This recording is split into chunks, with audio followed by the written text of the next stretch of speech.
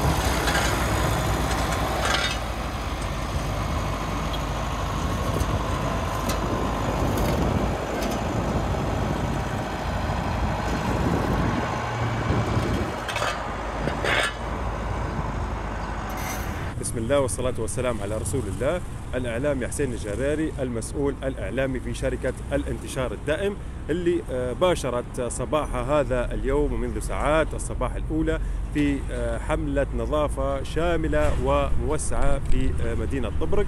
طبعا الشركة باشرت أعمالها بناء على تكليف من لجنة إعادة الإعمار والإستقرار المشكلة من قبل آه، مجلس النواب الليبي وكذلك أيضا آه، إدارة المشروعات في بلدية آه، طبرق اللي تتابع في هذه ال- المشاريع اللي مكلفة بهن شركة الانتشار الدائم اللي من ضمن هذه المشاريع اللي مكلفة بهن هذه الشركة آه، صيانة آه، الطريق آه، الشرقي لمدينة طبرق أو كما يعرف من بوابة المثلث إلى آه، جزيرة البوستر وكذلك أيضا الأيام القليلة القادمة حتبدأ الشركة في طريق المدخل الغربي لمدينة آه، طبرق من جامعة طبرق آه، كما يعرفونه أهل طبرق بوابة الشرطة العسكرية. كل هذه الأعمال تصير آه، بمتابعة آه، مجلس الإدارة في شركة الانتشار الدائم.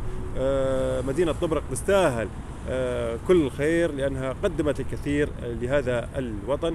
وبإذن الله هذه الحملة حتكون مستمرة إلى ما بعد عيد الفطر المبارك. إن شاء الله كل عام والجميع بخير. وعاده الله علينا وعليكم بالخير واليمن والبركات. مرة أخرى أقدم لك التحية أستاذ عبد الرحمن سلامة لمتابعتك كل الأحداث في هذه المدينة. شكرا لكم تلفزيون المسار.